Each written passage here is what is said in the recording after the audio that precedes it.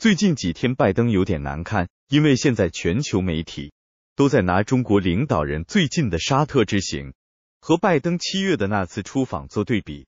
我们先说拜登那次，整个二零二二年，拜登外交最失败的地方莫过于沙特，直接原因就是当年的卡舒吉谋杀案。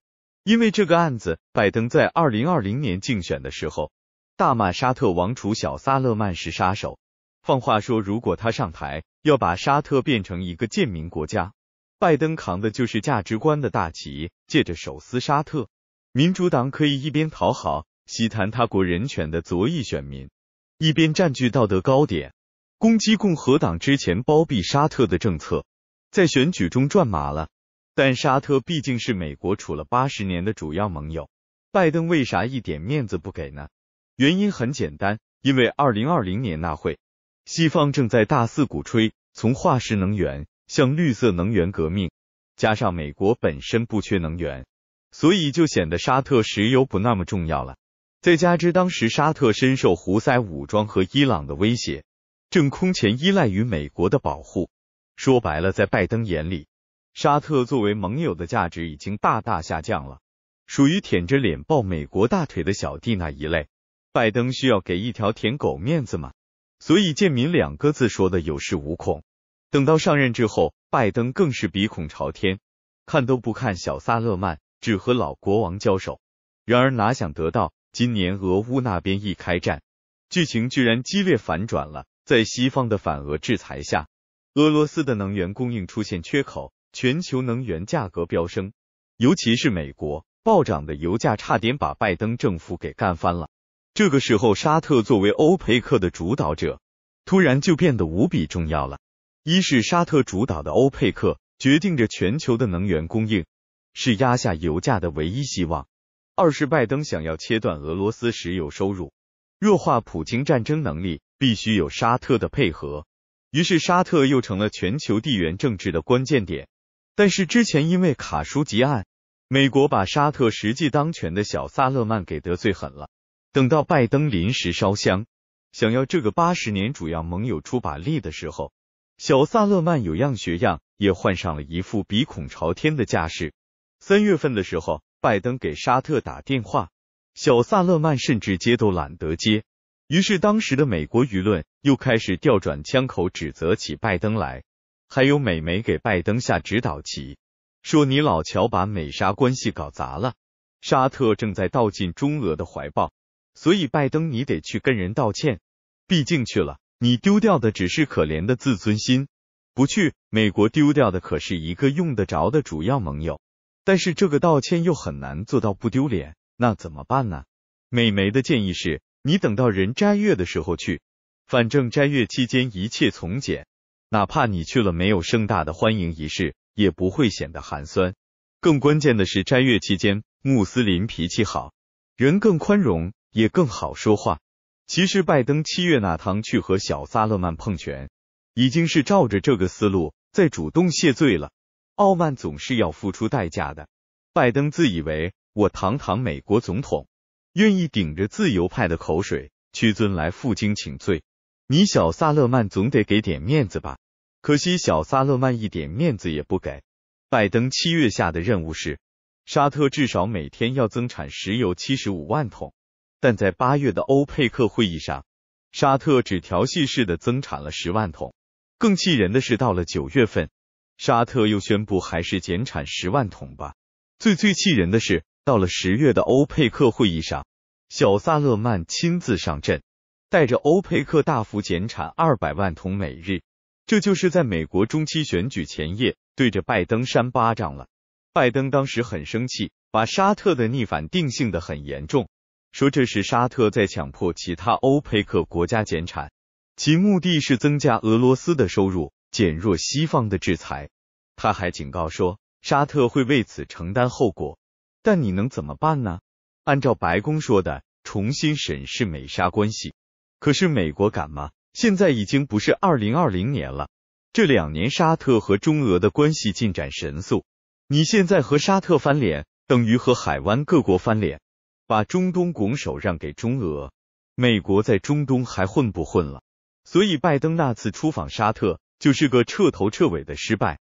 事后美媒给过一个评价，叫做“无声”的。这个“无声”不光是说接待仪式冷冷清清，也是指没达成什么成果，去了跟没去一样。放在今天来看，更像是一种绝妙的隐喻。美沙关系已经在无声中变质，再难回去了。和拜登七月那次相比，这次中国领导人的出访就截然不同。首先，在接待规格上，沙特是以最高礼遇。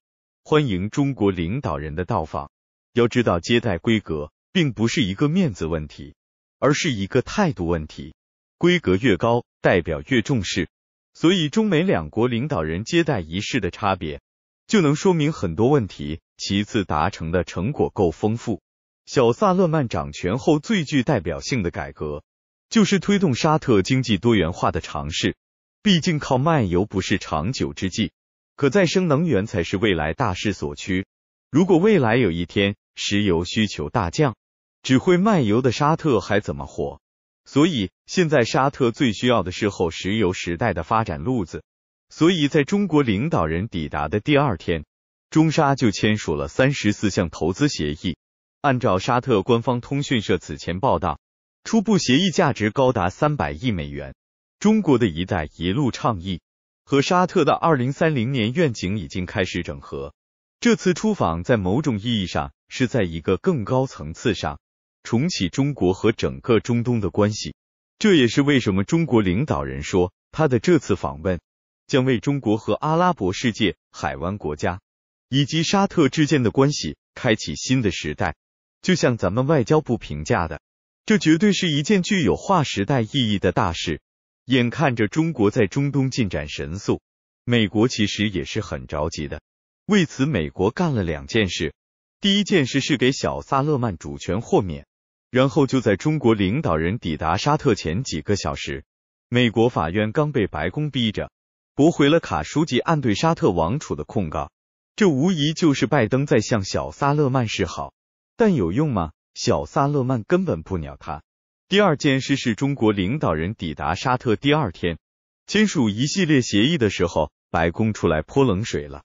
白宫国家安全会议发言人科比说：“中沙两个主权国家发展双边关系不奇怪，但中国追求扩大影响力的举动不利于国际秩序。言下之意，中国和中东国家走近是有危害的，但会危害谁呢？一套虚无的秩序。所以你看。”对于中国和中东的靠近，美国其实是没有办法的。就像《华尔街日报》援引一位沙特商人的比喻，美国和沙特的关系已经死了。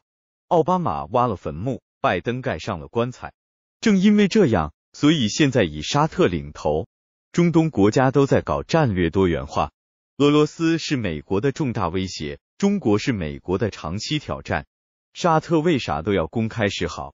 不是因为卡舒吉案对美国的报复，而是因为中俄是美国集团之外的仅有的选择，所以中俄沙三方各自和美国的关系越紧张，合作姿态也就越紧密。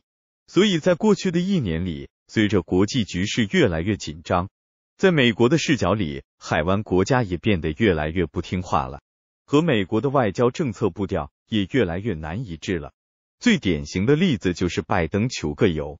面临的是产油国铁板一块式的抵制，这在以前是不可想象的事情。当然，给美国这种感觉的绝不止一个沙特，比如伊朗和俄罗斯的关系，以及在核协议问题上的强硬，比如土耳其埃苏丹在各种国际大事上独具一格的搅屎棍风格，比如印度、巴西、南非等金砖国家对俄罗斯态度上和西方的强烈反差，各个地区国家。都是在根据自己的立场做决定。美欧这样的传统强国，也只能跟在他们屁股后面去适应，很难对每一个人发号令了。这就是国际秩序的多元化。中美元首在沙特截然不同的遭遇，正是源自两国对多元化截然不同的应对。在这种情况下，大国的策略不再是控制，而是把自己的利益融入当地的体系中去。这也是中国这些年外交做的最成功的地方，可惜沽名学霸王的美国人是学不会的。